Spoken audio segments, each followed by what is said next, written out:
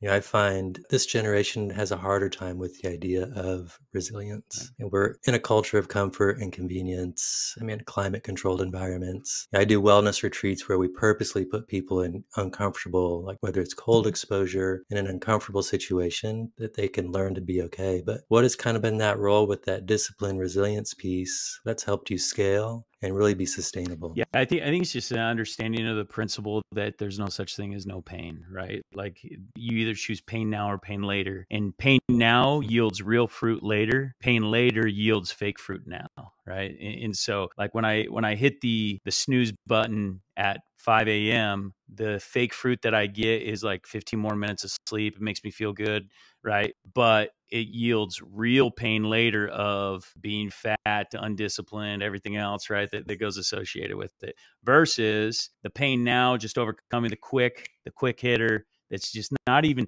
not even that long lasting it's just in the moment and nobody wants to experience it and if i can choose that always i experience incredible fruit